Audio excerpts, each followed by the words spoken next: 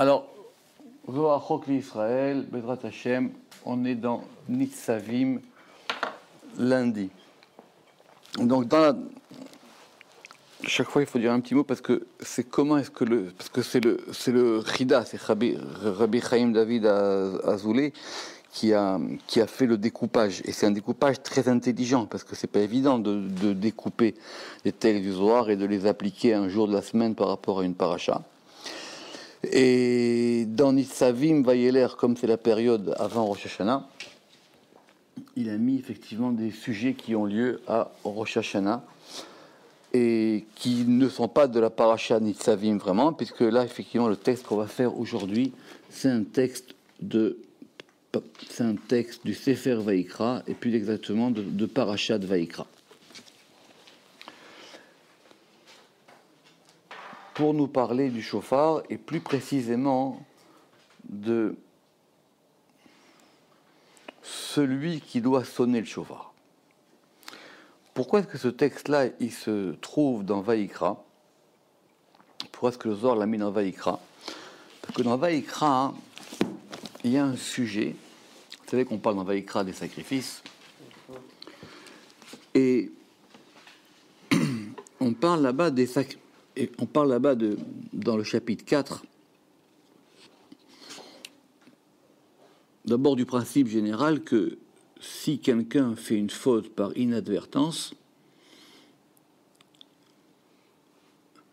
il devra apporter un sacrifice, parce qu'il n'y a pas de sacrifice pour les fautes volontaires. Mais il y a un cas, c'est le, le verset, il va venir dans le Zohar, mais je préfère vous le, donner avant.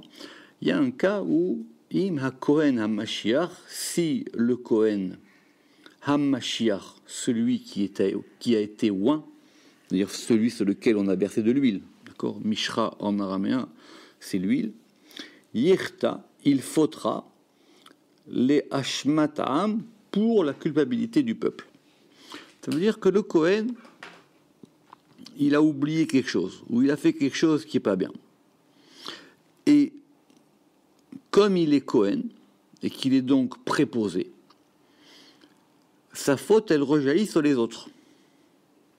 Ce qui n'est pas le cas de quelqu'un qui faute. Quand quelqu'un faute, mis à part si dans sa faute il, va faire, euh, il va entraîner un dommage à autrui, en général sa faute elle est pour lui. Mais là, comme le Cohen il est préposé, donc effectivement, il a une responsabilité de la faute qu'il fait par rapport aux autres. C'est ça, on va dire, le premier pchat du début du verset, si il fautait les Hashmatam. Et du coup, le Zohar là-bas va développer cette notion de responsabilité du Kohen. Et de façon tout à fait logique, si on parle de la responsabilité du Kohen, on va parler de la responsabilité des gens qui ont des tâches communautaires. Parce que les tâches communautaires, elles les engagent aussi par rapport à, par rapport à la communauté. Le Rambam, il explique aussi que ça fait partie des, que ce sont des fautes très difficiles parce que ce sont des gens qui vont faire fauter les autres. Donc si quelqu'un prend des responsabilités communautaires, religieuses en tout cas d'après le Zohar, et qui fait des fautes, ben c'est encore plus grave parce qu'il va faire fauter les autres. C'est pour ça qu'il faut qu'il fasse très attention. Et donc du coup, c'est le Zohar qu'on va voir aujourd'hui, du coup, on va parler de la responsabilité de celui qui va sonner le chauffard. Exactement. Alors, euh, c'est un peu complexe, parce que le Zohar va vite. Vous savez que la seule mitzvah qui est liée à Rosh Hashanah, celle qui est marquée dans, dans l'introduction c'est Uba Chodesh Hashevi, Be'echad Chodesh, Mikra Chodesh Yelachem, Kol Melechet Avoda Lotazu, Yom Teroua Yelachem, ce sera pour vous un jour de Teroua. Bon, en général, on traduit la Teroua comme étant la sonnerie, mais c'est pas exactement la sonnerie, c'est le fait que Rachid là-bas, il, explique sur l'histoire de Ra'av, ça peut être aussi un tremblement, une frayeur, etc. Mais en tout cas, en général, la teroua, c'est considéré comme la sonnerie. Donc il y a une mitzvah de teroua. D'accord? Maintenant, cette mitzvah de teroua, normalement, tout le monde peut faire du chauffard. Mais il se trouve qu'on la confie à quelqu'un. Et cette personne, donc, il va s'appeler le tokea. Il va s'appeler celui qui va sonner du chauffard. Et donc, du coup, par analogie avec le Cohen, qui lui est préposé, ce qu'on va voir, au fait de pardonner les fautes, puisque c'est lui qui est en charge du temple, enfin les Kohanim et les, les celui qui sonne du chauffard, lui, il va avoir une responsabilité. C'est quoi cette responsabilité? C'est ce qu'on va voir aujourd'hui. Alors, Zaka des tzadikaya. Heureuse la part des justes, des yad'in qui savent ou car ils savent. On peut mettre aussi la conséquence qui savent ou car ils savent. Les chavna, ils savent être mitkaven. Mitkaven, c'est pas une intention, c'est faux de traduire comme ça. Euh, une kavana, c'est une direction. Comme on dit en hébreu, un kivun, c'est une direction. Les chaven, la kavenet, c'est une cible. Et mechaven, ça veut dire je ne suis pas, c'est même à la limite s'orienter. Sauf que dans orienter, il y a évidemment l'Orient. Et ça, c'est pas tout à fait le but ici. Parce qu'ils savent, les chavna, reuta, les kamemareun, ils savent diriger l'agrément devant leur maître. Bon, on va revenir sur cette notion-là, mais on va dire qu'il y a des gens qui savent comment ça fonctionne. Et il y a des gens qui ne savent pas. Donc quand on sait comment ça fonctionne, et ici on parlait de Sadikim, eux, ils savent diriger les choses et ils savent parler à Dieu, ou ils savent obtenir quelque chose de Dieu. Veyad in les takna alma, et ils savent arranger le monde. C'est pas donné à tout le monde. Des fois, on croit qu'on arrange et on dérange. Des fois, on croit qu'on répare et on casse. Donc, eux, ils ont cette connaissance. Behayoma, en ce jour, on pourrait même rajouter en ce jour-ci, parce que c'est Behay Yoma, en ce jour-ci, Bekal Shofara, par la voix du chauffard faut être précis sur les mots, mais d'après le Zohar et d'après de nombreux textes, au chauffard, on va attribuer la notion de kol. C'est important parce qu'on dit kol chauffard. On, on, l'a répété plusieurs fois, mais il faut le répéter. Il y a une différence évidemment entre kol et dibour. Il y a une différence entre dibour et amira. Le kol, c'est une voix, et le dibour, c'est une voix articulée. D'accord? Parce que quand on entend une voix, c'est pas distinct. D'accord? Donc c'est un niveau plus haut, la voix. Le dibour, c'est quand la chose, elle commence à, être, à se préciser. C'est qu'on va distinguer des mots. Au départ, on entend une voix. Et justement, pour le chauffard, ce qu'il faut, c'est une voix. C'est pas des paroles.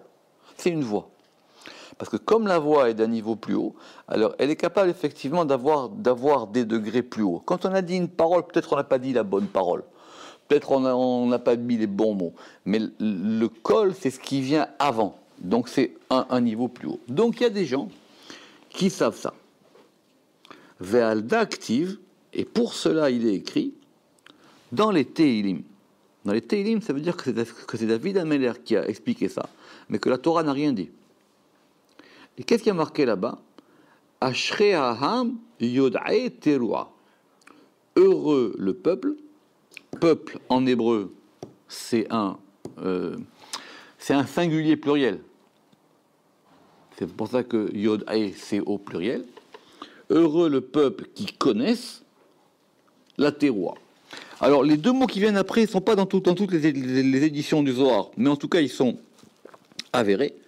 Et le Zohar dit que David Amelech, il a dit Yod Ae, Velo Tokae. Heureux le peuple qui connaissent et pas ceux qui sonnent. Donc il y a une connaissance. Et dans la connaissance, c'est très clair. Il y a celui qui sait et il y a celui qui ne sait pas. Pas discuter. Soit tu sais, soit tu ne sais pas. Donc il y a une connaissance particulière à avoir pour le chauffard. Alors, évidemment, euh, j'ai fait l'expérience, si c'est pour être capable de sonner dans une corne, un enfant de 4 ans, il sait le faire. C'est pas compliqué, d'accord? Vous apprenez à sonner, fait bi, bi, bi, vous faites trois sons, vous entraînez, même après, s'il faut avoir des notions de rythme, etc., c'est donné à 4 ans. Et même des fois, il y a des gens qui, font des, qui sont spécialistes d'instruments avant, ils, ils, savent, enfin ils savent, ils sonnent beaucoup mieux que de gens qui ont l'habitude, parce que c'est leur métier. Quelqu'un qui joue d'un instrument avant, il sait comment articuler les sons. Donc il ne s'agit pas de la connaissance de l'instrument, la technique. La technique, c'est une technique d'instrument avant, c'est pas compliqué. Il s'agit de la connaissance précise de cette chose-là. Et là, c'est ça qu'on vise. Et ça, c'est pas dans les autres mitzvot. Alors le Zohar va être très dur, parce qu'il mâche pas ses mots. Behayoma, en ce jour, Ba et Am Ama, le peuple, il doit regarder Bebarnash Sheli Mikula, un homme parfait en tout. On ne confie pas la sonnerie du chauffard à n'importe qui. Et on va donner des conditions. Les Mefarchés ils vont les analyser une par une. Je n'ai pas tout mis dans les notes. Mais on a dit, d'abord, il faut qu'il soit parfait en tout. Des yada orchoy des makakadisha, qui connaît les voix du roi saint. Alors ça, c'est une expression du Zohar qu'il faut bien connaître. Ça veut dire quoi? Qui connaît des yadé orchoy des makakadisha Il connaît les routes. Il sait comment ça marche. Il sait se repérer. C'est comme dans la Gemara, hein. Il y a un Amora, je crois, un Tana, il a dit Moi, je connais en haut comme les rues d'en bas. Il dit Moi, dans ma ville en bas, je connais les routes pour aller, pour aller d'un point à l'autre. En haut aussi, je sais comment ça marche. Il connaît les voies, il ne se trompe pas. Il sait quand il faut aller à droite, à gauche, il a, il a, euh, il a un GPS supérieur. Donc il faut qu'il soit parfait en tout. Il faut qu'il connaisse les voies du roi, ça veut dire qu'il sait comment ça marche. On est en train de parler ici des cavanotes. Il sait comment ça fonctionne. Des Yada Bikara des Malka, qui connaît l'honneur du roi. Alaihu Bauta Be'ayoma, qui demande pour eux la demande en ce jour. Quand on regarde le texte, on voit qu'il y a plusieurs conditions. J'en ai ramené que trois. Un, il sait comment, il connaît les sphirotes d'en haut. Il sait comment arranger les sphirotes et il sait la prière du Nouvel An. Il sait la prière de Rosh Hashanah. Progressivement, Zohar nous amène à quelque chose qui nous censé être connu, c'est que le jour de Rosh Hashanah, c'est le jour du din, et que la sonnerie du chauffard, grosso modo, elle est là, bien que ce soit plus compliqué dans le détail, elle est là pour arranger ou pour adoucir le din. C'est quelque chose qui est là, qui va permettre de passer ce Yom Adin. C'est une clé pour le din. C'est une clé pour ce jour. Et cette clé, elle dépend d'une seule mitzvah, la mitzvah du chauffard. C'est pour ça que c'est la mitzvah la plus importante du jour, voire même de l'année. Puisque l'année, c'est simplement le chauffard. Donc, celui qui sonne le chauffard, il faut qu'il remplisse ces conditions-là. Et c'est pas fini. Ulzimna kal shofara almin et inviter la voix du chauffard dans tous les mondes. Parce qu'il faut que ce chauffard qui va sonner, bon, on ne parle pas de l'objet ici, hein. l'objet c'est encore une autre question. On parle du son qui va sortir, et que ce son-là, il fasse son chemin et qu'il passe dans tous les mondes. Bechavana deliba, par la direction du cœur. Bechormata par la sagesse, Bir Euta par l'agrément, Bishlimu par la perfection. On reprend. Ulzimna kal shofara bechulu almin et inviter la voix du chauffard dans tous les mondes. Bechavana deliba par la direction du cœur.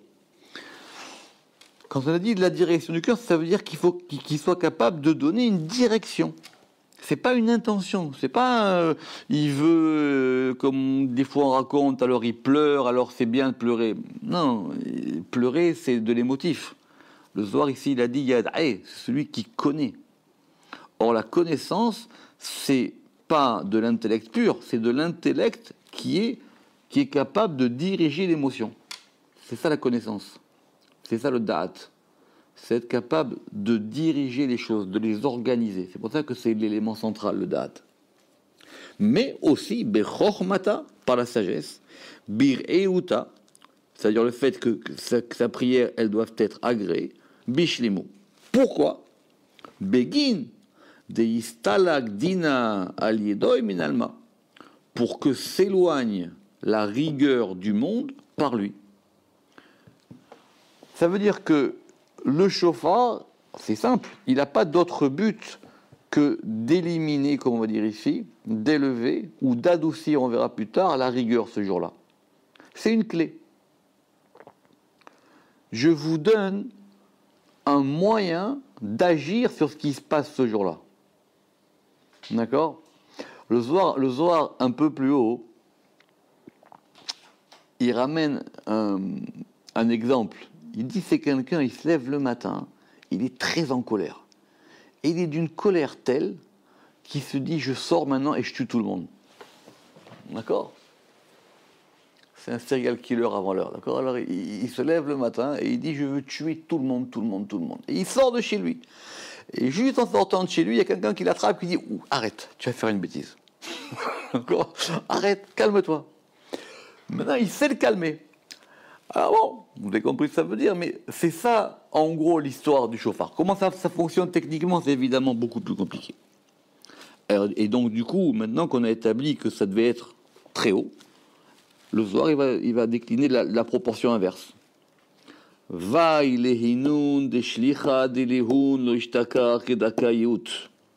Malheur à ceux-ci dont l'envoyé, c'est-à-dire celui qui doit faire le préposé à la sonnerie du chauffard, ne se trouve pas comme il se doit. De alma Parce que les fautes du monde ou les fautes du peuple, elles viennent à être rappelées par lui. Du coup, s'il ne sait pas faire, c'est tout, c'est, tout sur lui. S'il ne sait pas faire, c'est tout sur lui. C'est simple si je te donne une clé pour rentrer chez moi, tu pourras pas dire je ne savais pas rentrer, j'ai pas su. Je t'ai donné une clé. Alors maintenant, toi, ton rôle, c'était d'apprendre à t'en servir. Si tu n'as pas de clé, tu sonnes comme tout le monde. Mais si je te donne une clé, il faut que tu apprennes à t'en servir. Donc, c'est difficile. C'est ce qui est écrit, notre verset,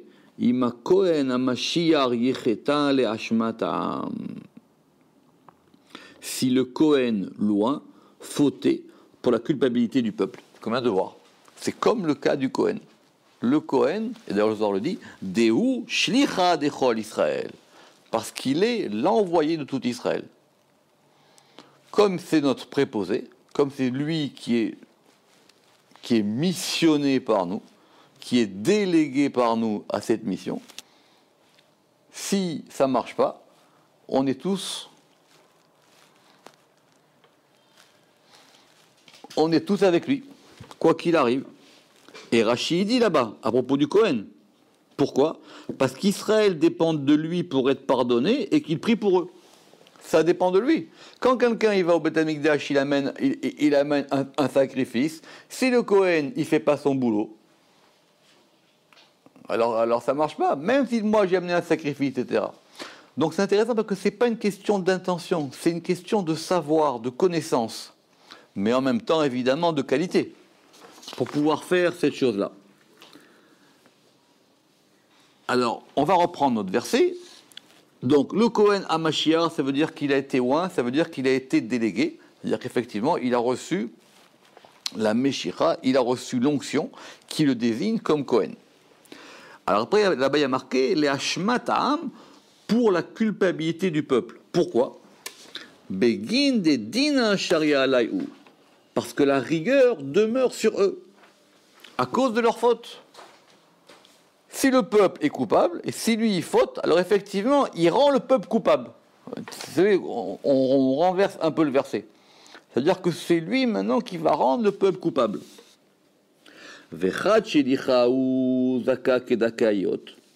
Et lorsque cet envoyé, il est méritant comme il se doit,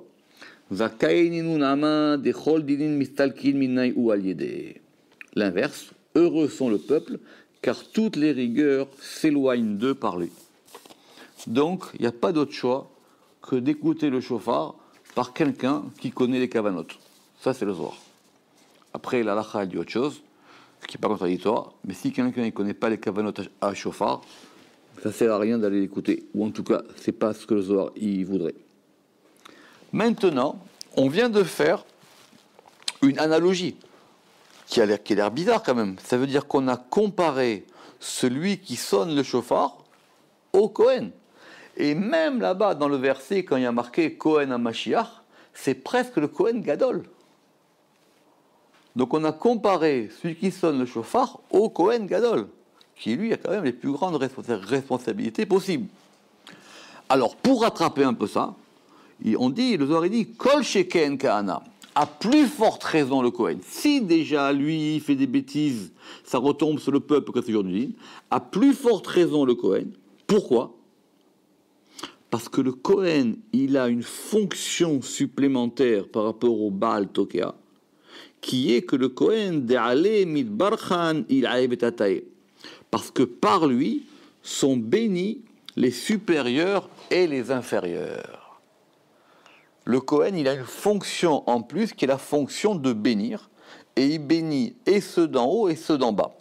C'est le cas de la Kohanim, mais il y en a qui ont voulu dire ici que c'était simplement par rapport au Kohen Gadol, parce que le, Kohen Gadol, quand, quand, il rentre dans le Saint des Saints le jour de Kippour, alors il fait qu'il y a une bénédiction dans ce monde-ci et dans tous les mondes. Parce que c'est le Kohen, c'est lui qui bénit, c'est lui qui bénit tout le monde. Donc ça fait trembler ça. C'est-à-dire si on tombe sur quelqu'un qui sonne du chauffard et qui, qui pense que c'est la trompette, euh, c'est pas très beau. Aman Rabbi Lazar, Rabbi Elazar, le fils de Rabbi Shimon, il a dit Ve'alda, et pour cela, Kohen Velevi, Ad, Lo Yislak le Porkana, Batkin a Batre. Kohen et Lévi, avant qu'ils ne montent au service du temple, Batkin a on les inspecte et on connaît leurs voix et leurs actions. C'est intéressant parce qu'on n'a trouvé aucune trace de ça dans la Gemara. Et Mefarshim pose la question et dit Mais d'où est-ce qu'on a vu que on devait procéder à un examen des Kohanim ou à un examen des Lévi'im? Normalement, c'est une charge familiale. On est Kohen ou on est Lévi. Bon, Moshe les a ordonnés, on va voir pourquoi, mais à partir du moment où ils ont été ordonnés, cette charge, elle se transmet. Il y a une référence que je n'ai pas ramenée ici où on dit que quand quelqu'un se prétend Cohen, on va quand même faire une enquête. Mais on fait une enquête familiale pour savoir si c'est un vrai Cohen. Et la preuve, c'est qu'il y a des gens qui s'appellent Cohen et qui ne sont pas, et, il y a des gens qui ne s'appellent pas Cohen et, et, qui sont des vrais Kohanim. D'accord? On en trouve. C'est le cas de par exemple, chez les Ashkenazim aussi, il y a des, il y a des noms euh, qui n'ont qui pas l'air Cohen ou Lévi, mais pourtant ce sont, des Kohanim ou des Lévi. Mais ici, le Zohar, il dit que on doit effectivement faire attention à qui ils sont. Intéressant. Ve'ilo, ve'ila. Et, et sinon, si le type il passe pas l'examen, qu'il n'est pas ça, la salik les purhana, il ne monte pas au service. Vechen Basanedrin, et de même pour le Sanhedrin, et on ne va pas prendre non plus pour le Sanhedrin, qui est le grand tribunal, pour le Sanhedrin, pour le tribunal, on ne prend pas n'importe qui. On prend quelqu'un dont on sait qu'effectivement, il va être capable de juger comme il se doit, ou qui sait comment ça fonctionne. Les Dina pour prononcer un jugement. Donc du coup, d'après le Zohar ici, c'était possible qu'il y ait des vrais Kohanim et des vrais Lévi'im, mais comme ils ne passent pas l'examen, du coup, ils ne peuvent pas servir au Beth C'est intéressant. Ça veut dire que ce n'est pas une charge euh, héréditaire, quoi. C'est pas héréditaire. Oui, ok, tu es Cohen. Ok, tu es Lévi. Peut-être tu as droit au Troumot, peut-être peut tu as droit effectivement à, à, la part de Cohen mais tu ne pourras pas rentrer au temple. Tu ne pourras pas faire le service parce que ce n'est pas donné à n'importe qui. Et s'il se trouve comme il se doit, des Magdesha. On met sur lui la Khumra des Magdesha, la matière du temple. Alors ça c'est très compliqué parce que ça dépend comment on écrit Khumra. Soit on l'écrit avec un kamas comme c'est écrit, soit on l'écrit avec un patar. Il y en a qui ont voulu traduire qu'on met sur lui la khumra, c'est-à-dire la, la, euh, la restriction ou la rigueur, dans le sens de moderne de la khumra. On voit pas l'intérêt, c'est-à-dire que si effectivement il passe les étapes, alors il va lui dire, toi tu vas prendre encore plus sur toi, ça ne marche pas. Donc le Modog Midvash et d'autres, ils traduisent par Chomer, dans le sens de la matière. Ça veut dire que effectivement, il peut rentrer dans la matière du temple, il peut rentrer dans la sainteté du temple. Sauf que si on voulait dire que Khumra, ça s'écrit, c'est la matière, il aurait fallu mettre un patar à la place d'un kamat. Bon, j'ai lu rien dessus, de plus là-dessus, euh, ça dépend des traductions. Mais là, en tout cas, ça me semble plus logique que ce soit la matière que la restriction. Vehi là, et sinon, là, salik les furhana, et sinon, il ne s'élève pas vers le service. Donc, on a compris, il y a des conditions, et c'est pas donné à n'importe qui. Il faut connaître les cavanotes, il faut savoir comment ça fonctionne, il faut les étudier, et il faut aussi être capable d'organiser tout ça.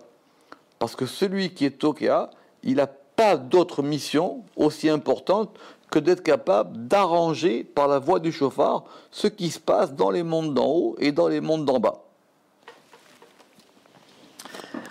Alors, ce qui est intéressant par rapport à nous, c'est qu'on va revenir maintenant dans le Sefer Devarim. Et dans le Sefer Devarim, on va revenir à la Parashat Azinu, quand Moshe va bénir les tribus une par une. Vous savez qu'il n'y a pas de tribu de Cohen. Il y a simplement une tribu de Lévi, puisque les, puisque Kohanim sont, sont une branche. Et qu'est-ce que Moshe dit à Lévi? Qui parle à Lévi, à d'accord. C'est ce qui est écrit, où les Lévi Amar, et à Lévi il a dit, Tumecha ve'urecha, tetumim et teurim, les ish pour l'homme de tes généreux, pas de, de tes généreux, les chassidim, asher nisito bemasa, que tu as éprouvé à Massa. Alors, c'est un peu complexe. Les Urim Vetumim, tout le monde voit ce que c'est Normalement, on appelle ça de façon plus générale le éphod. Le éphod ou le pectoral. C'est-à-dire c'était un pectoral sur lequel il y avait des pierres. Et ça s'appelle les Urim Vetumim. Maintenant, la Torah ne dit pas grand-chose là-dessus. Simplement, on sait que ces pierres-là, elles avaient une fonction qui était capable de, délivrer un message. Ça n'a pas fonctionné tout le temps, ça n'a pas fonctionné pour tous les Kohanim et à toutes les générations, puisqu'au bout d'un moment, ça s'est arrêté. Mais c'était donc une espèce de privilège, ça que dit le Passouk. Il lui a dit à Lévi, les Urim Vetumim, pour toi, parce que vous, vous êtes des Chassidim, Asher Nisito Bemasa, parce que, parce que, parce que je, que, tu as éprouvé ou, qui a éprouvé à Massa. Massa, vous savez, c'est l'histoire, ils se sont disputés à cause de l'eau, etc. Les seuls qui ne sont pas pleins, c'est qui? Les Lévi'im. Par ce mérite-là, vous avez mérité ça. Parce qu'effectivement, c'est intéressant. Parce que comment est-ce que les Lévi'im sont devenus des Lévi'im C'est parce qu'ils avaient un mérite particulier. Vous savez qu'au départ, Lévi, c'est le frère de Shimon. D'accord? Lévi et Shimon, c'était, pas des tendres. Puisque dans l'histoire, dans l'histoire de, dans Dina, dans l'histoire de Dina, ils ont dit, nous, il n'y a pas de quartier avec ceux qui font des bêtises comme ça. Et et Yaakov, il a dit, Besodam altavo nafshi, que dans leur secret n'aille pas mon âme. C'est très intéressant, le Zohar, il, explique ce verset, il dit, ça veut dire quoi? Besodam altavo nafshi. Soit Yaakov, il dit, je ne veux pas me mêler, de, cette affaire-là, ça c'est le pshat, mais il dit, il y a un sod, il y a un secret dans leur comportement auquel moi, Yaakov, j'ai pas part. C'est-à-dire je ne peux pas régler moi les affaires de, de cette manière-là. Mais eux, ils ont agi d'une manière particulière, mais il y avait un sod. Mais, du coup, ils ont eu quelque chose et Yaakov leur a dit attention, il faut que vous, soyez capable de canaliser cette force. Alors Zohar, il dit maintenant, mais Mipnema zacha Aaron Léorim Vetumim. Et à cause de quoi Aaron, il a mérité les Urim Vetumim Ou les Miflar pour Hana, et d'accomplir le service. C'est intéressant parce que c'est un, un Zohar qui nous dit qu'il n'y a pas de charge. Comprenez, c'est pas quelqu'un qui peut acheter la charge de Cohen, c'est pas, pas quelqu'un qui peut acheter la charge de Tokea. C'est pas donné à n'importe qui. C'est donné à celui qui sait. C'est pas un truc héréditaire. Donc si lui maintenant il est devenu Cohen ou il est devenu Lévi, c'est qu'il a eu un mérite. C'est quoi son mérite? C'est la suite de la bénédiction que Moshe leur donne. Heve Omer. Alors Heve Omer, je dirais ou il disait, ça dépend comment est-ce qu'on traduit cette formule araméenne, Asher Nisito, que tu as éprouvé. C'est quelle a été, quelle a été leur épreuve? C'est la suite dans Devarim. À Homer le Haviv ou le Himo l'oreitiv, qui dit pour son père et pour sa mère, pas de sa mère, qui dit pour son père et pour sa mère, l'oreitiv, je ne l'ai pas vu. Ve'etechav loiki, loikir, et ses frères, loikir, il n'a pas reconnu. Alors, il y, a- un critique dans la Torah, soit on dit et son fils, soit on dit et ses fils. Et son fils, Loyada, il n'a pas connu.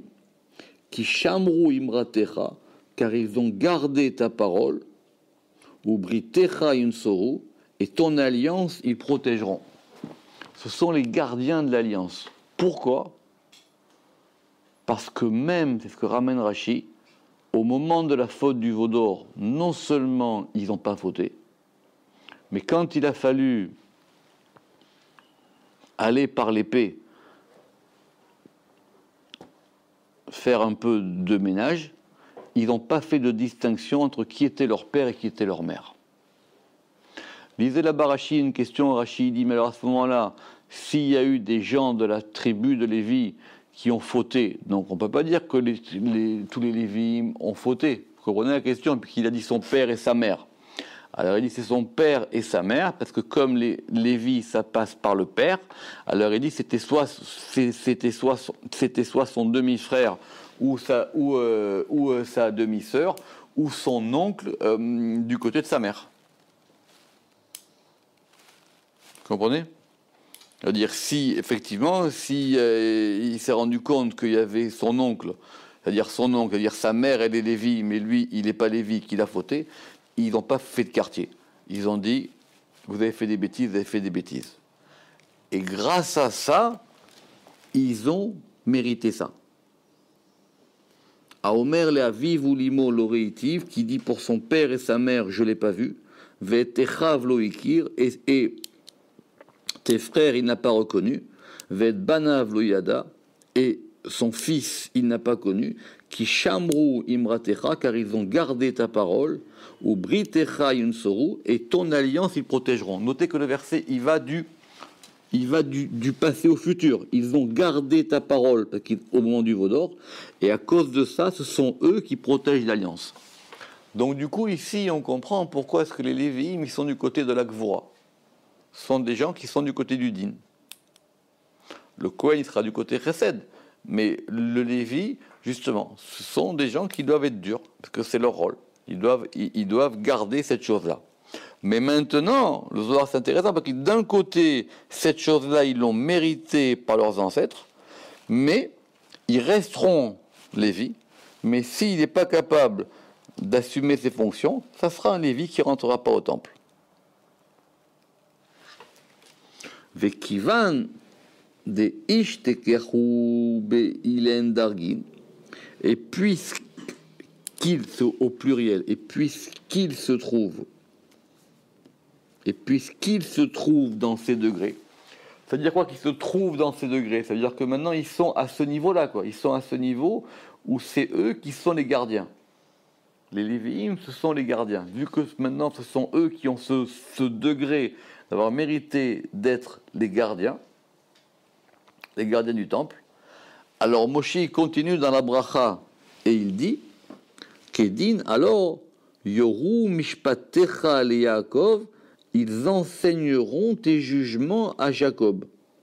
Ça veut dire que ce sont eux qui enseigne à Israël. Enfin, à Jacob, Vetoratecha l'Israël. Yasimu ketora beapecha. Ils mettront l'encens. Alors, ça dépend des traductions. Hein. Soit ils mettront l'encens beapecha dans tes narines ou dans ton nez. Mais moi, je pense que c'est un singulier, donc c'est beapecha.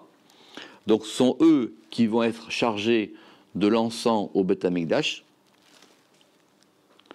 Vechalil al mizbechecha.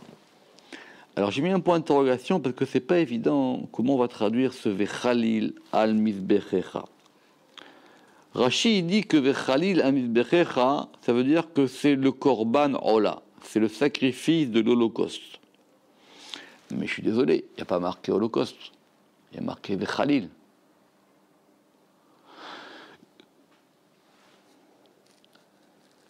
Et d'ailleurs, le Zohar va le remarquer, ce qu'on va voir maintenant pour terminer. Vechalil, ça vient de kolel.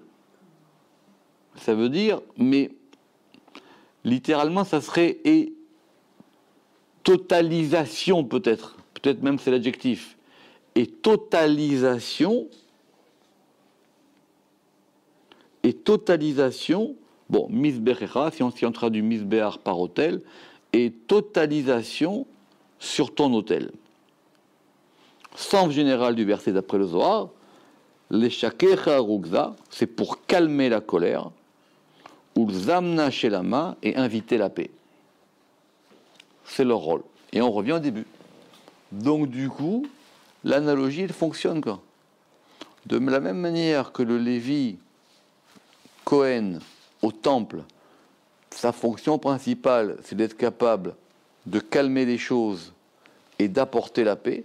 Celui qui sonne le chauffard, quelque part, il devient Lévi. Et s'il y a un Lévi qui sonne le chauffard, c'est encore une autre question.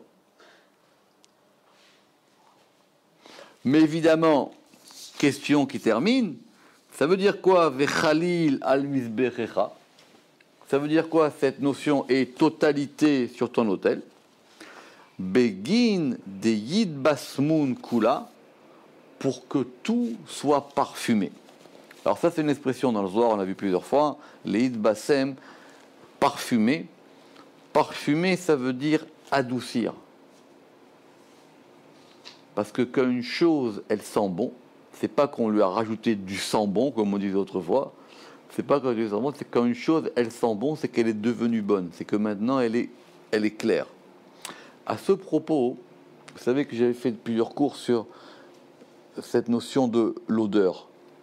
Et quand on relit le Zohar, on, comprend pourquoi c'est si important cette histoire d'odeur. Parce que vous savez que même les sacrifices, le but c'est l'odeur. Et quand j'ai relu le Zohar cet été,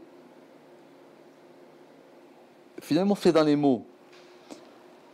C'est que l'odorat, alors euh, écoutez bien ça, l'odorat c'est quelque chose qui attache, qui lie les parties de l'âme.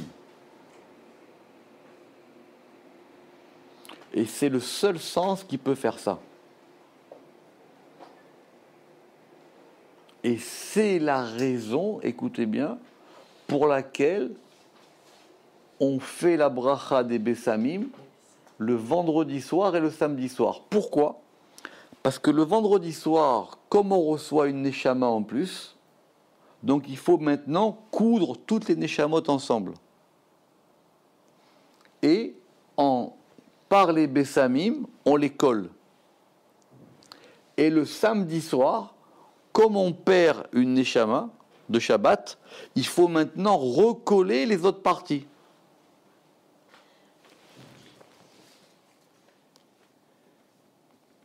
C'est un liant de l'âme.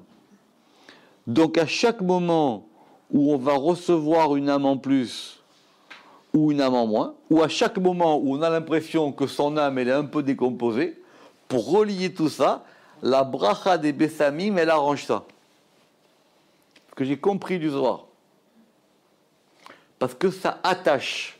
C'est un, c'est, un, c'est un attacheur, si on peut dire. Donc je répète, le vendredi soir, c'est Shabbat, on reçoit une âme en plus, et dire, mais cette âme, qu'est-ce que je vais en faire? Alors cette âme-là, il faut l'incorporer avec l'âme qu'on a déjà. Alors les Bessamim, ça sert à attacher tout ça. Et samedi soir, comme on va perdre une neshama en plus, on retombe dans le rôle, on dit ah, mais qu'est-ce que je vais faire maintenant? Alors maintenant, du coup, je vais re-attacher tout ça. Et les Bessamim sont là pour tout attacher à chaque moment. C'est pour ça que la première fois qu'on parle des Bessamim dans la Torah, c'est quand? C'est au moment de, de Noah. Quand Noé il sort de l'arche, il fait des sacrifices, et là-bas, qu'est-ce qu'il y a marqué? C'est un feu odorant. Parce que du coup, comme le monde il a été amputé, maintenant on va tout réinstaller et on va tout faire. Alors du coup, c'est pour ça que eux, les Lévi'im, ils ont Moshe l'ordi dans la bracha, donc maintenant ils, vont avoir une fonction d'enseignement, parce que c'est eux qui peuvent enseigner. Yoru, Yoru c'est enseigner. Ils vont enseigner les Mishpatim et la Torah Israël, on verra la différence entre Yaakov, Israël et Mishpat et Torah. Il y a Simu Torah Beapecha, ce sont eux qui vont mettre l'encens dans ton nez. Vechalil al et donc cette notion de totalité. Alors c'est quoi cette notion de totalité? Begin, c'est ça que dit le soir, Begin de Yid Basmun Kula, pour que tous soient parfumés.